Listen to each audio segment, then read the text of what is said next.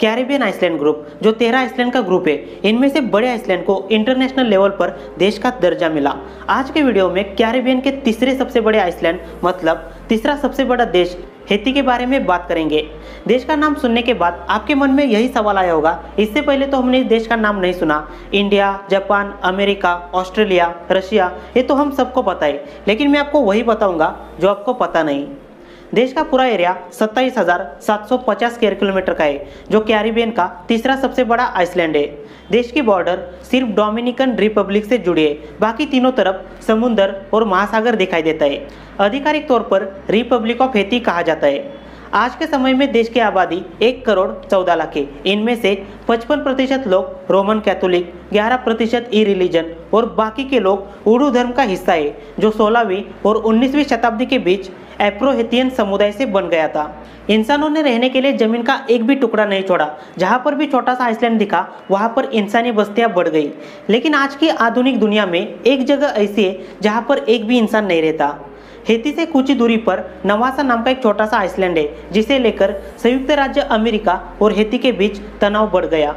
साल अठारह सौ सत्तावन में अमेरिका ने नवासा को अपना हिस्सा बताया था, लेकिन हेती के संविधान के तहत अठारह सौ चौहत्तर में नवासा आइसलैंड हेती का बन गया, ऐसा कहा गया। देश की राजधानी का नाम पोर्टू प्रांस है अकेले राजधानी में 29 लाख सतासी हज़ार लोग रहते हैं। इतिहास में एक समय ऐसा था जब देश फ्रेंच कॉलोनी का हिस्सा था। उस समय सेंट डोमिंग नाम का एक बड़ा फ्रेंच साम्राज्य था।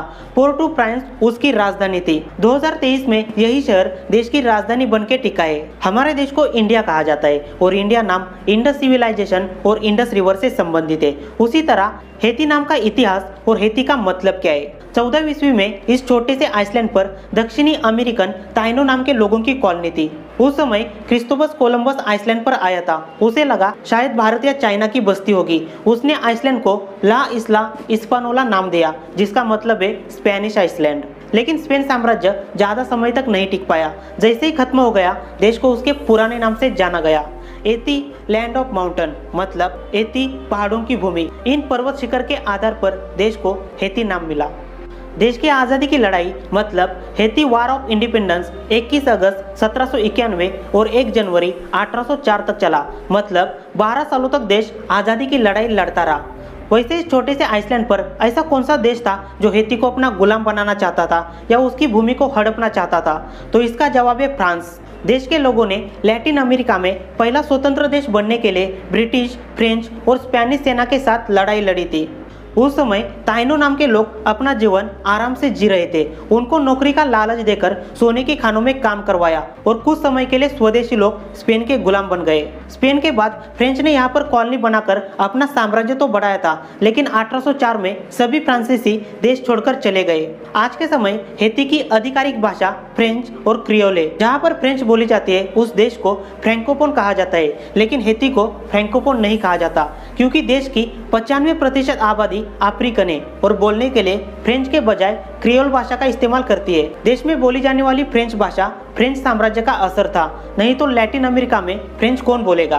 अगर आप अमेरिका का कोलोराडो राज्य घूमोगे तो वहाँ पर सबसे ज़्यादा गॉस्ट टाउन देखने को मिलेंगे।